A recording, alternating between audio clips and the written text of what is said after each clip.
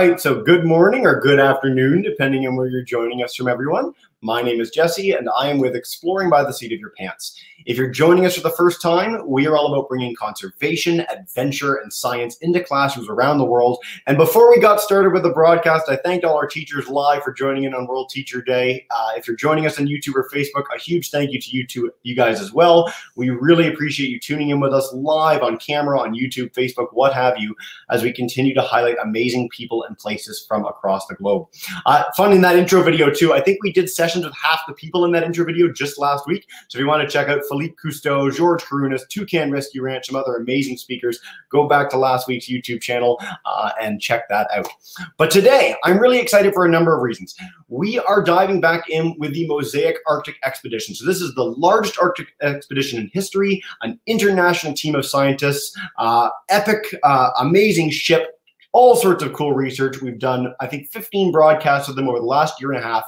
And this is a partnership between us and another amazing organization called Reach the World. So, Reach the World does direct contact between explorers and, and kids around the globe, uh, cool write ups. They've got a beautiful site. In fact, I'll bring this up for you guys right now on the bottom of your screen. So, Reach the World has been a huge partner of ours in highlighting and showcasing the Mosaic expedition. And we are thrilled to help them with these live broadcasts. So, today, we are being joined from Bavaria in southern Germany, one of the most beautiful places in the world, by Laura Schmidt. So she is a polar bear guard, a safety and logistics expert. She helped make sure that this amazing team of scientists was safe um, at the top of the world where there are a lot of dangers, not just the weather, but the top land carnivore on this planet, polar bears. So she's going to talk about her own career path uh, as a guide and all the amazing stuff she's gotten to do up in the Arctic, how she ended up on Mosaic, and what the expedition was all about. So without further ado, thank you so, so much for joining us today, Laura, and uh, take us away. Hey, um, thank you, Jesse, for introducing myself. And hello, everybody. Um, I'm really excited to join this broadcast. And yeah, well, um, we have about 20 minutes time, and I um, first introduce myself. And um, yeah, let's start with that before we go to the expedition. So I'm Laura, and from South Germany. I live in the German Alps. It's uh, a little part called Bavaria. And yeah, I'm actually a geographer, so I studied geography, and my point of view was glaciology. Yeah, and I, I fall in love with um, uh, the glaciers and especially with the Arctic. So that's why I ended up um, also as a tour guide uh, in Greenland and Spitsbergen. So I um, show you first some pictures and how I get there because um, yeah, to to be a part of Mosaic or to be a team member of um, the safety and logistic team um, requires that you are able to handle arrival or that you um, know how how it is to meet a polar bear, for instance. So just um, second. Um, do you see that? Yeah, we're perfect. We okay. got a beautiful uh, ice sheet glacier. All right, because I can't see you and it's a bit uh, confusing. So, um, okay. Um, yeah, I mean, I, I actually, to be honest, I, I lost my my heart in the north. Um, it's it's so beautiful, and you can feel the presence. And when you watch um, the icebergs, like here in Greenland, then you feel totally humbled. And that's why I, I promised myself, oh my God, I have to to go there much more often and to learn more about um, the ice and um, the culture of the Inuit, for instance. Um, it's really beautiful. So um, I ended up in uh, East Greenland as a tour guide. And um, yeah, here you can see some pictures. Um, we were here hiking through a beautiful landscape at uh, Ammassalik. It's a little island at the east side of Greenland. Greenland, East Greenland, is also called um, Tunu, which means um, the backside of East Greenland. Yeah, just some pictures. Here we are standing at the very beginning of the inland ice sheet, uh, where we also slept for one night. Yeah, that's uh, Actually, that was a part, uh, as I told you before, to get to this expedition um, because I am a tour guide for Greenland since uh, 2013. And my very first time in East Greenland, uh, was in 2011 uh, with university. I'm also very interested in uh, the life of the Inuit. It's uh, very interesting because they're, yeah, they have, they are struggling a lot due to modernization. And yeah, And um, what I also do is um, talking um, about the wildlife of, of the Arctic. For instance, here you can see um, a reindeer or the polar fox, as well as the polar bear. And we come to this amazing animal um, later. And um, yeah, some walruses. So, but uh, I don't want to bore you with that. And uh, let's go to the Mosaic expedition. Yeah.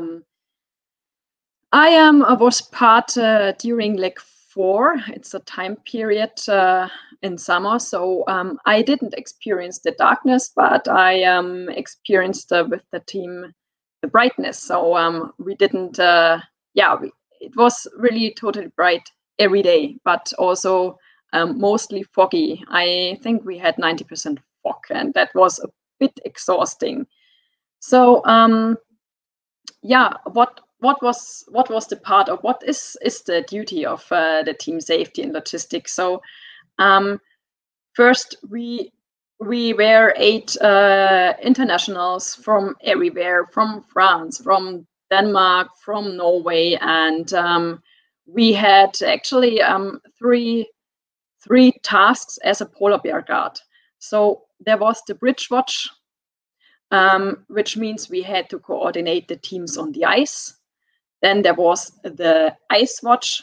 So um, we had to to be with the scientists um, at each station and to look out, just to look for three hours.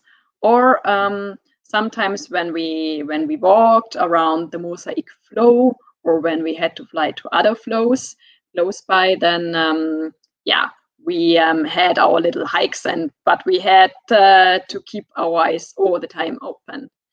And then there was also the stern hut. It was um, yeah at the stern of the ship because um, the bridge watch um, could not um, see everything um, so that's why it was important to have the stern watch as well okay Oh, well, this picture is, yeah, um, this was a, a, part of my team because it was, um, it take a, a lot, uh, it took a lot time um, to to get to Polarstern because um, um, Leg 3, the people of Leg 3 have been there already and we had to go there by a transit vessel.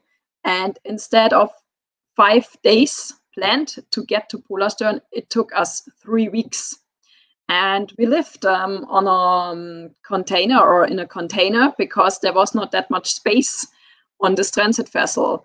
And I just wanted to show you this picture. This was like uh, the life on board.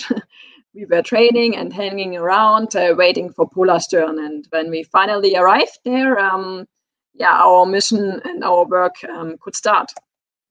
So this was um, finally my very first time on the ice. I was for sure very nervous. and what you can see, what I'm wearing is a survival suit because, um, yeah, uh, we are walking on the ocean actually. And um, to avoid to fall into the ocean and um, yeah regarding to safety um, or reasons we have to wear this survival suits and yeah, the polar bear guard has to bring the binoculars with for watching the environment and scanning the surroundings, as well as our um, flare gun, uh, the signal pistol, and the rifle. And yeah, I, I would like to say that the most important thing is or are your eyes and um, the binoculars it's not the rifle because um, safety goes first, both for polar bears and scientists. And um, sometimes people maybe get a wrong impression when you see the guys walking with the rivals, but it's it's it's not about the rival. It's about um, being awake and aware all the time. So this was the very first time um, on on the ice. Yeah, and um, I was walking with scientists to uh, melt pond because they were studying melt ponds, and then um, I was standing there for three hours, and that's it. And here, um, since I'm back, I think, oh my god, how did I enter it uh, focusing three hours on the ice? But um, because you're not distracted by anything else, because there is just, I say it, uh, the great white nothing with um, much fog in between. Um, you you can um, focus much easier because you have to focus and because there could be a polar bear. Okay, um, this was um, with Thomas uh, on the bridge of Polarstern. As I told you before, um, yeah, uh, when we are when we have been at the bridge, we were coordinating the teams on the ice, which means everybody who left um, the bridge has to call us via the, the VHF radio and said, uh, uh, I mean the ship, hey, um, bridge, uh, bridge, bridge, please um, make sure that we are in the trip log system. Team ICE or Team ECO are heading out now. We are out from 9 to 12 and we call back if we arrive um, at the ship. Then I say, oh, all right, I can see you. Have a safe, have a safe trip and take care. Um, yeah, and that's it. And what you can see in the pictures I'm showing um, Thomas um, on, on this floe map, it was called a floe map, where these teams are on this special day. Yeah, and here you can see a team um, leaving the gangway, and always when they left the gangway, they had to call and to inform us, I mean Bridge, because it was very important to have an overview and to know who is out there with who. Yeah, here um, you can see me standing on the ice and um, scanning the surrounding with the binocular. And um, that was uh, sometimes really exhausting, especially during um, foggy conditions, because then actually the binoculars were, were not really useful and um, you really had to focus because even if you didn't see a polar bear since days you have to remind yourself that there could be a polar bear and um, so um, i mean the keyword is really focusing focusing and concentrating yeah, and during conditions like this, you can see here the great white nothing and the blue sky. It's actually easy or easier to to watch the surrounding and the environment because um, yeah, you can see really far and it gives you it makes you a bit uh, yeah or it relieves you to know okay i can see something and then you know you have the support from the bridge and yeah, and from the stern and from other teams on the ice. Yeah, um, also we um, flew sometimes when the weather conditions were good to um, other ice floes nearby our mosaic home floe, where also um, scientific stations were or were built up, and then um, yeah, we got a little um, helicopter introduction, how how to to fly with this helicopter and and so on. And yeah this was also very exciting for us because everybody likes to fly actually with a helicopter also the scientists okay here you can see us um, also during good weather conditions because most of the pictures were taken during those conditions uh, for sure um, it's Jonathan and Radiance from Colorado. Um, they are from Team Atmosphere. And yeah, this is Drone Village at uh, and you can see also the mosaic floe was very stable during this uh, time. It was at the beginning of June. And yeah, I think that they really had the best job actually during this expedition because Jonathan was always flying the drone and they were sitting in the this uh, camping uh, chairs, and yeah, it was it was fun. And um, yeah, what you can see on my suit um, is on the left side this throwback, which um, it was necessary to take that with. For instance, if somebody would break through the ice, I mean, just if you can throw this throwback, there's a, a, rope inside this bag, and then you can help um, your team and yeah, your I say family members to get out of the ocean. Yeah, yeah, and this was um, at the very end um, of our mosaic floe before it fell apart, maybe two weeks before it fell apart, and you can see um, Jakob and me walking the transect. It was my favorite task actually because we were. It was like a little hike around the mosaic floe, and here you can see us walking through melt ponds and on the back side or bit behind the, picture um, you can see um, the open water actually. And it was a bit scary because um, I always thought, oh my God, please don't uh, let me fall into this uh, melt ponds or through this melt ponds. Yeah. And yeah, so you had to focus on your, uh, you have to watch your feet and you have to watch your surrounding as well. Uh, so yeah, you were very focused on both. All right. This was also during uh, the transect.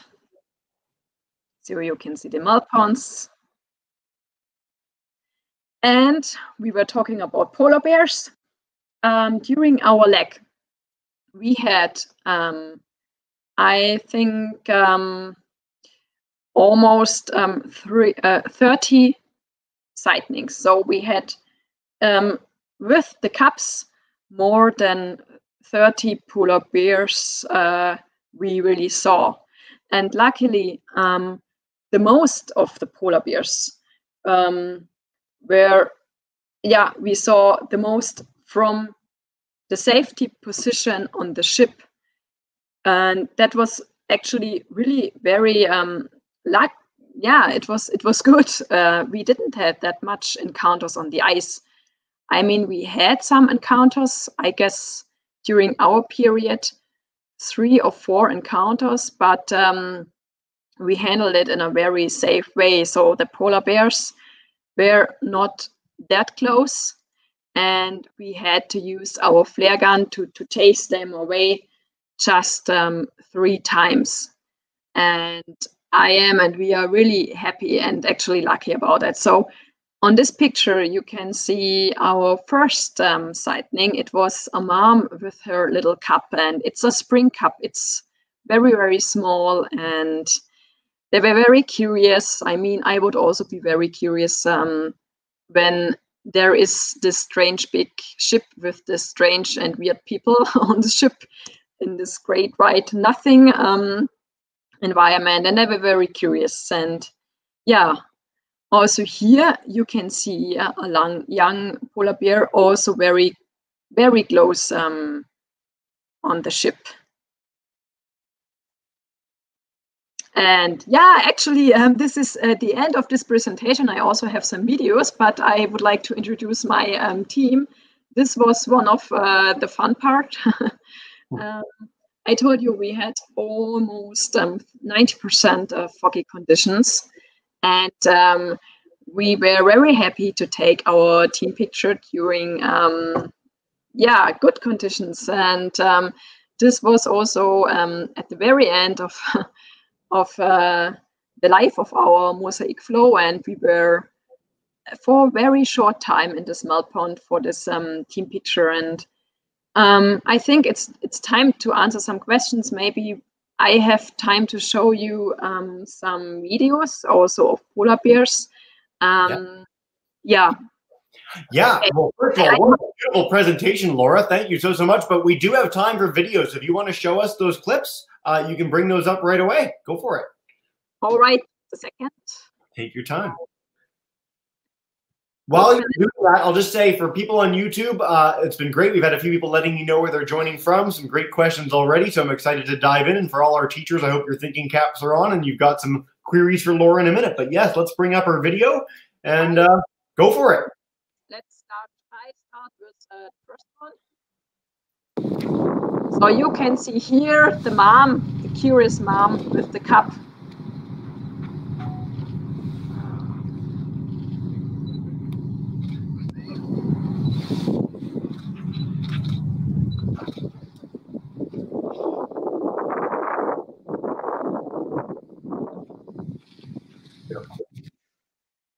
yeah, it was really beautiful, and yeah, I I'm really happy to experience that. And I show you another one. It's a mom with um, two bigger cups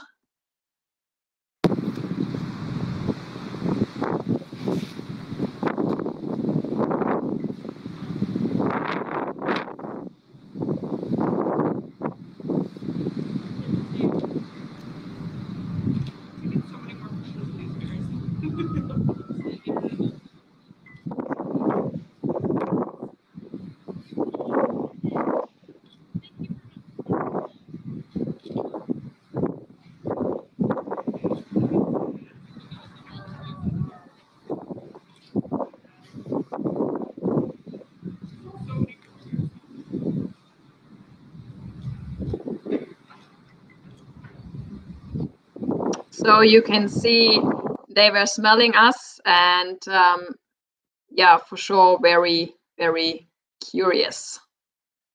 All right. Awesome. Well, you can exit screen share if you want. Laura, come back so you can make sure you can see us and we'll dive in with questions. So I'm going to go to our live classes in just a minute. Uh, but I want to welcome in classes in or, or, people coming in in New York, across Ontario, uh, in Vishakhapatnam, all the way in India. And so I want to share our question from uh, our Indian student Akash, uh, Laura, to begin us off. And I love it. So you talked about focus and, and being sort of really in the moment this whole time, and you're looking out for polar bears and you're looking in this big white landscape. That's a that can be a stressful experience. So Akash wanted to know, did you feel very tense till the end of the expedition? And what did you do to, to control your stress? Okay, what did I do first? I am very active and I had to run almost every day on a treadmill because it was the um, yeah the only opportunity to make sport. so that's my way to reduce stress running and running because at home I do a lot of mountain sport. And I have to say that um, mm, you live with it when you are here in, in our world then you think oh my god polar bears what should i do? But when you are there and when you are in this surrounding you're much more relaxed because i think you know um, you uh, focusing is is training and how do i explain it?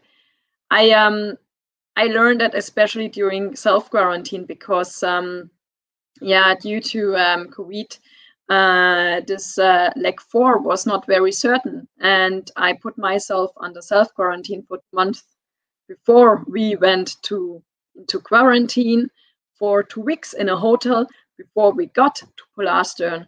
So I had much time to focus and to learn to endurance things as well as uh, I am doing a lot of yoga and meditation. And uh, you do that actually as well. Um, yeah, um, during um, during your time on the ice, you have to focus and um, you have to live with it. So it is what it is. It's hmm. stressful, but um, when you I'm sure to handle situations and you can avoid situations because you have the bridge watch. You are not alone. You have always to remind yourself you are not alone. You have the team with you, and that helps a lot. It's always about the team. Yeah. yeah. That's a great answer. In fact, it's funny that uh, we, we deal with a lot of people in very stressful situations in this broadcast, and consistently it's preparation, working with a team, and exercise that seem to get people through it. So I'm really glad you touched upon all of that, Laura.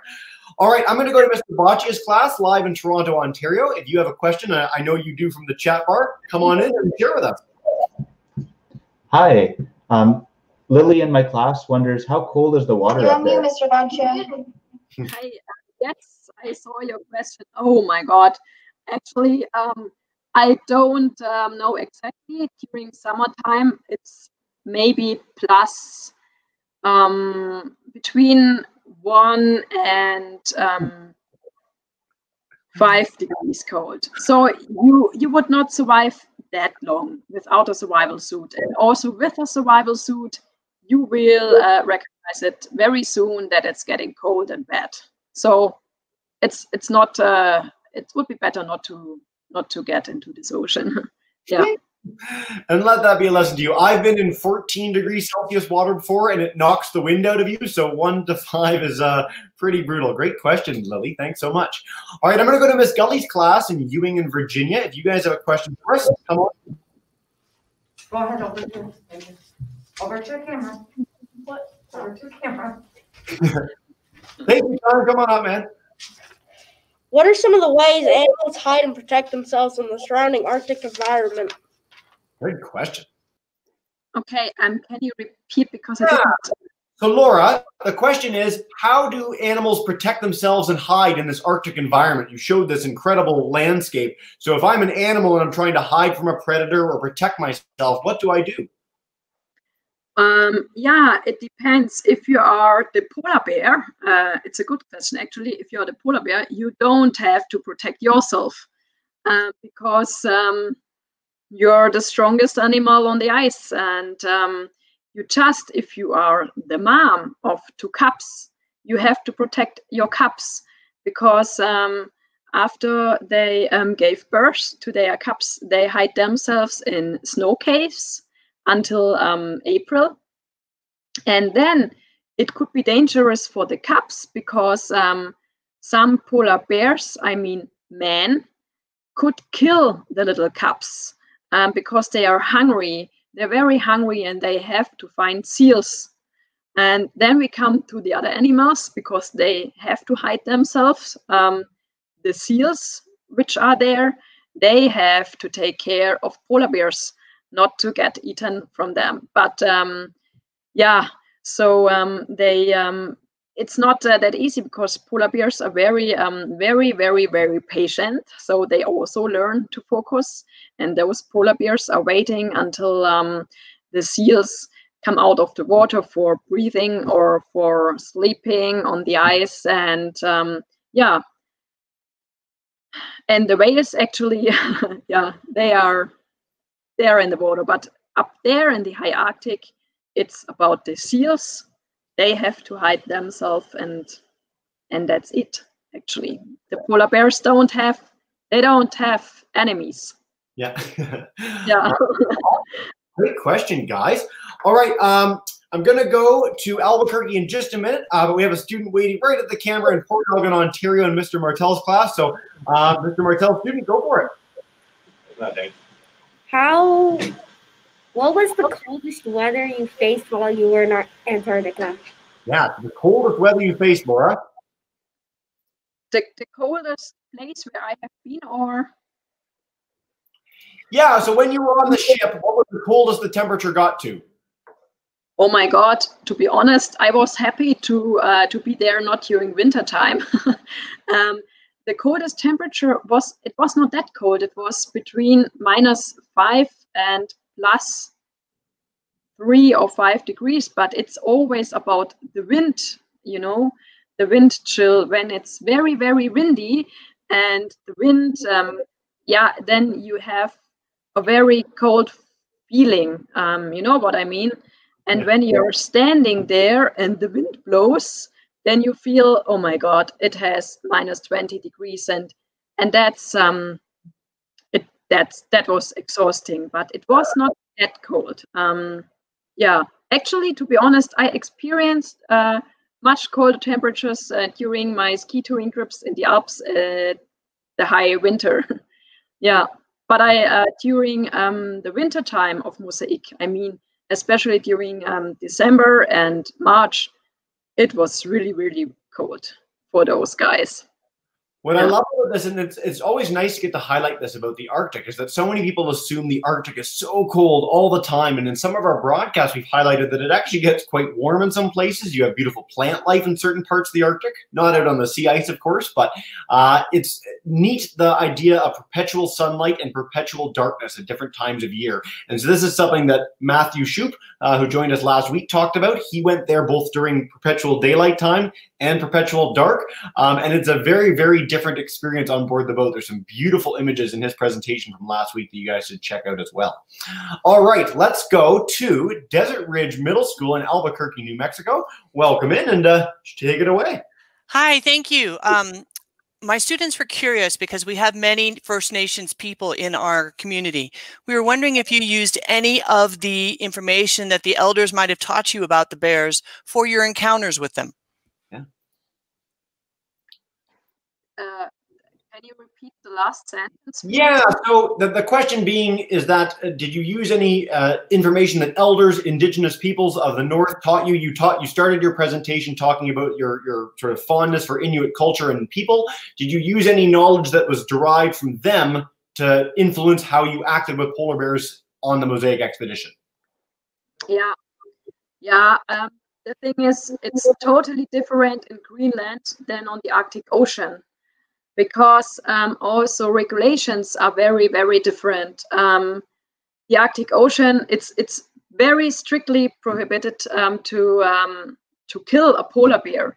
But for instance, I hope I answered the question correctly. Please correct me if I missed the question, um, because I'm not sure if I got it. Yeah. Um, the So Yeah. the, the question's more. So here, we'll bring back in our, our teacher if you want to explain a little further. We have many First Nations students here. Yeah. So they were curious when you brought up the fact that you spoke and dealt with the elders of the Inuit. Um, what insight did they give you for when you dealt with bears? okay, now I got it. Um, sorry. No, it's okay. yeah, it's I'm not a native speaker, so sometimes it's not that easy. Um, okay, yeah, uh, it's interesting because for the Inuit uh, of Greenland, it's uh, especially for the hunters, a polar bear is a trophy. You know, for them, it's it's um, they are hunters. It would be the best um, to kill a polar bear, but actually, it's it's not allowed. And um, I met some hunters, and they said they um, are are allowed to kill a polar bear just um, five during a year. Um, but um, I also met um, an Inuit. He's a good friend of mine, and I asked him, "How do you um, feel with uh, polar bears?" And he said, "Oh my God, I'm so scared. I would run away if I see if I would see a polar bear." And um, it's it's different, but um, they yeah, and and other other Inuits or um, who are um, yeah still um, very deep connected with their culture. Um, they see they appreciate a polar bear because um, it's, it's it comes from shamanism, you know, and for them it's it's it's a really um, important and strong animal. And even if they kill a polar bear, like when they are killing a whale, they um, would say thank you. Yeah. Yeah. Yeah. That's what I learned. yeah. But it's just a very, very, very piece of uh, yeah of, of the entire culture. yeah.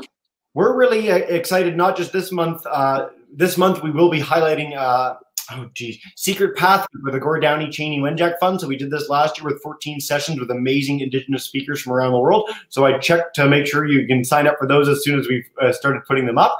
Um, and Arctic stories in general, we love touching upon Inuit culture. It's such a beautiful culture. There's so much rich history there, and we have a partnership with the Arctic Institute of North America soon to run a series uh, featuring stories from the north that hopefully are going to touch upon that in a really big way. So I love the question. Thank you guys so so much. Um, for people on YouTube, if you want to keep sharing questions, go for it. We'd love to see what you guys have there. But I will go back through with our live classes, starting with Mr. Boccia's group. Uh, come on in and uh, go for it. Here we go. Oh, it's thinking about it. Maybe. Okay, so for whatever reason, Mr. Bocci, your camera's frozen, so we'll go to Mr. Martel's student who's sitting right at my camera. Go for it. How are the conditions on the ship? Yeah. How the conditions have been on the ship? Yeah, how are the conditions? What's it like being on the ship, Laura? Uh, you mean the life on the ship? Yeah. oh, it. I say it was industrial romantic because you are uh, somewhere in nowhere.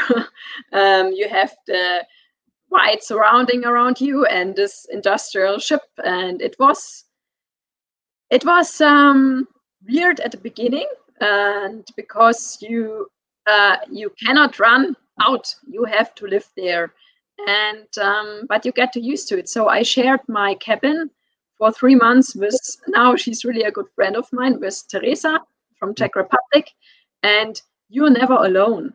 So um, that's why it is very, very important to have a good team around you. And um, our leg was called the, the hugging leg because we were hugging all the time because we were so happy um, to be tested negative due to COVID. And um, it's always about a team. If the team does not work, then I think, to be honest, um, it could be very um, exhausting to live on a ship. But it was we had meals three time um, during the day, so it started breakfast breakfast at 7:30. Then we had um, lunch at 12, and every day cake time um, at around 3:30, and dinner at um, six. And after dinner, we had at 6:30 every day a general meeting, very planned the next day. And the structure, to have a structure, was very important because it is important to have a structure. And then, for instance, we also watched some movies in the so-called cinema room. There was a cinema room, and we watched some movies like Apollo 13 or Kung Fu Panda. And um, yeah we were socializing hanging around. I used the gym always um, yeah almost every day and, and that was the life on a ship. Yeah. I it would be an extra lecture just to talk about ship life. Yeah. Hey, we love it. If you ever want to come back, you're welcome. As the flowers in May. Um, I love that. So the, the solution to keeping calm and, and having these great relationships is Kung Fu Panda and cake time. So let that be a lesson to all our, our kids joining. I love these stories where people get to be interacting for long periods of time. We've had astronauts on our program. We've had people on Arctic expeditions, people at the bottom of the ocean, and those sort of rela- that relationship buildup is always the most important part. And I I love when we can highlight that. So thank you so much, Laura. All right, we're going to take two more questions. We're going to go to Miss Gully's class, and we'll wrap up with one from Mr. Boccia's group. Uh, so Miss Gully, come on back up if you have a question, and go for it.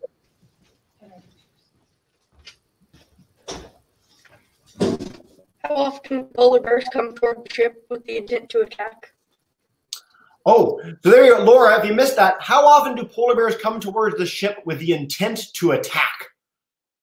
oh my god um i don't i'm not in the brain of the polar bear but um i don't think that they want to attack to be honest the thing is that polar bears are curious they are just really very very curious because i would also be very curious if i i told you before if i would see weird humans walking around there um, but it's not it's not that they come to that they think, oh my god, a ship, I would like to attack. It's not about that. They're very curious. Um, we had to avoid the situation that they will become much more curious. So sometimes we um, had to ca- chase them away with the signal pistol, I mean, with the flare gun, because it's important that they are not um, that they think ah now i know the ship and i'm i'm used to it um, let's see what those guys are doing now um, Right.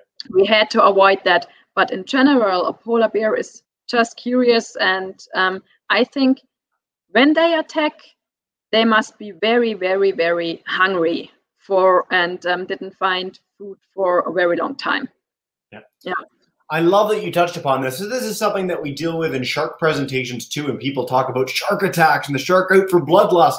And the animals are just curious. If we're curious about something, we can ask questions, we can have conversations, we can pick up something with our hands. Well, these animals, which happen to be very large predators, their way of interacting with the world might be with their teeth. And so if you respect animals, if you give them space, if you make sure that they know that this isn't an area that they should be hanging around, you avoid those sort of negative interactions. You avoid having a problem come up uh, in the first place. So that's what your your role was, and uh, you did a very good job. So uh, great question, guys. Yeah. Mr. Boccia's class, if you want to wrap us up with a question, come on back in and uh, go for it. Hi, I just had one from my class, which is: Did you witness? Unmute yourself. Did you witness any fights between polar bears? Yeah, I can. Any fights between polar bears, Laura? Oh no, I've never seen a fight between polar bears, luckily or unfortunately. But um, I saw um, a polar bear um, killing a seal. Yeah. Did you really? That's really cool. Like from the ship? Uh, yes, and in Greenland. But I was actually very sad for the seal and happy for the polar bear. But um, yeah, it's um, yeah, it's but it, it's nature. Yeah, it's what it is. It is. It's a bittersweet experience. And whenever we have people that work with predators, they pretty much always feel that way. It's such a, a unique experience to get to see something like that. But um, well, one day, I mean, not that we want polar bears to be fighting, because we want as many polar bears uh, to be happy and healthy as possible. But it's quite the experience. Uh, again, I'd recommend to our classes check out the Planet Earths of the world, Planet Earth Two, Blue Planet. There's some amazing uh, polar bear footage in those by the BBC uh, and more. So I encourage you to check that out online. One thing before we wrap up, too, Laura, I want to bring up on the screen uh, MOSAiC Expeditions website on the bottom of our screen. If you're joining live or on YouTube, check that out. You can learn so much more about all the work that was done and is being done on the ship. And then, as I said, this is a joint Reach the World presentation. So if you go to Reach the World's page about the MOSAiC Expedition, you'll learn even more. Uh, and we hope you do so to wrap up the broadcast. Laura, this was so much fun. Thank you so, so much for joining us today. Yeah, thank you. And uh, thank you for contacting me, Jesse. My pleasure. So what we do at the end of every presentation is I'm going to demute the microphones and bring in our teachers. So Mr. Martell, Miss Gully, and Mr. Boccia, if you want to join me, a big thank you uh, to Laura before we let her go. Thank you so much, guys. You guys can say goodbye.